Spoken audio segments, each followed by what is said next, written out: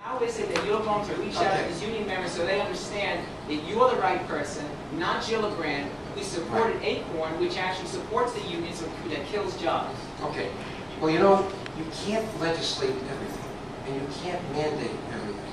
Just like I would like to see Walmart, for instance, buy American. You would think that Walmart, the government should say to them, you know, you got all this business, you got American consumers, but why don't you buy American? Well, you can't legislate that. Then we're no longer a democracy. But what you can do is you could make people aware of the issue.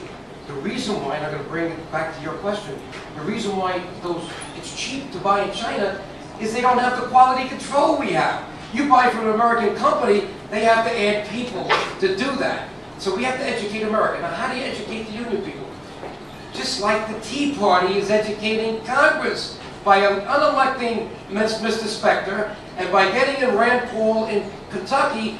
Don't you think those few bosses in Washington are getting the message? You need a Tea Party movement now in the union movement. You've got to get the people who are being affected educated that they may be abused by those leaders, like you just described. You can't get a senator to go in there and, and change the union overnight. But what a senator can do, like me, is I can educate some of those people that they need to do a better job in electing their union leaders, and they need to do a better job in evaluating them and using the right standards the way we're doing right now in Congress, tossing congressmen out left and right, Republican or Democrat. So things have to come from the bottom, not just from the top.